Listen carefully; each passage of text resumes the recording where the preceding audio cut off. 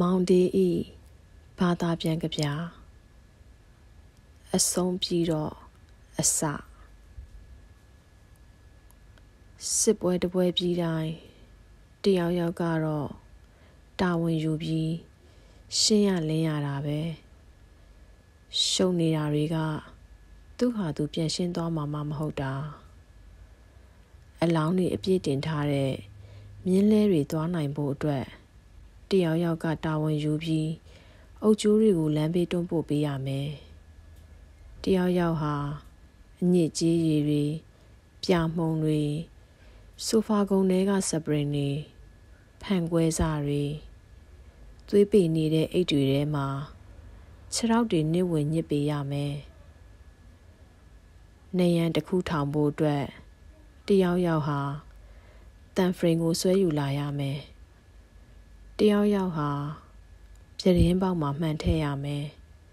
တကားကိုပြန်တက်ရမယ်ဒါတွေဟာ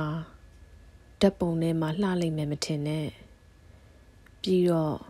နှစ်တွေအများကြီးကြာတယ်ကင်မရာတွေအားလုံးဟာနောက်စစ်ပွဲတစ်ခုစီထွက်သွားလိုက်ကြပြီကျမတို့တရားတွေကို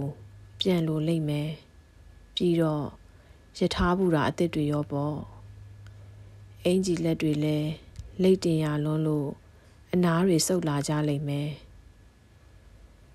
တပြက်စီးကိုလက်မှာကင်ထားတဲ့တယောက်ယောက်ဟာစစ်မတိုင်ခင်အခြေအနေကို ပြန်ပြောပြနိုင်သေးတယ်နောက်တယောက်ကမိမေးတိုင်းဖမွေးတိုင်းကြံနေသေးတဲ့သူ့ရဲ့ခေါင်းကိုညှိမ်ပြီးနားထောင်တယ်သူတို့အနားကလူတွေဟာတွားတွားလာလာလုံနေကြပြီ ဒီအကြောင်းတွေက သူတို့အတွက်ညှင်းငွေစရာကောင်းတယ်လေတခါတရံမှာတယောက်ယောက်ဟာ